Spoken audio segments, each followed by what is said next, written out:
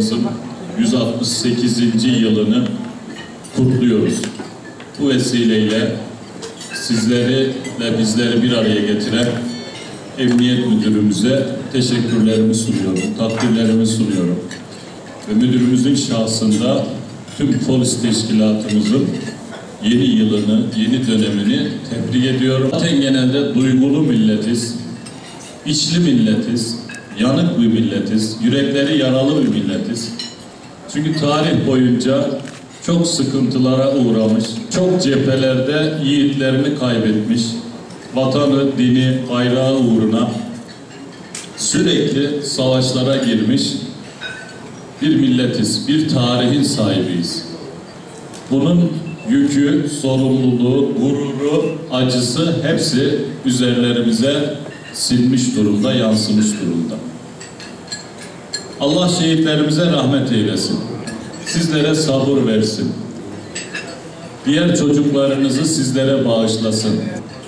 Artık gelinen noktada da bildiğiniz üzere hep beraber topyekün bu acıları dindirmeye, bu acılara son vermeye, yeni acıların meydana gelmesini önlemeye çalışıyoruz.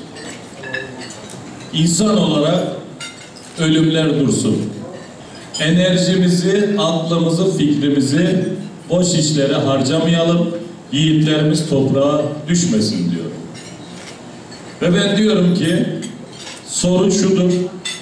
Biz 10 yıl sonra 20 yıl sonra 100 milyon nüfusu olan dünyanın ilk 10 ekonomisi arasına giren gerçekten demokratik halkıyla barışmış halkının değerlerine saygılı güçlü lider bir ülkenin mi saygın başı dik Kürt, Türk, Arap vatandaşı olacağız yoksa Allah korusun onun bunun oyuncağı olan onun bunun yönlendirdiği, kendi çıkarlarına alet ettiği olacağız.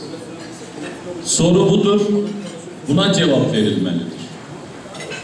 Ben inanıyorum ki bu millet çektiği acılardan da aldığı derslerle o büyük ülkenin, o büyük Türkiye'nin birer gururlu vatandaşı olma adına her türlü acıyı da bağrına basacak durumda yeni acıların olmaması adına her türlü içine atsa acılarını içine atarak acıları karşılamaya hazırdır diye düşünüyorum.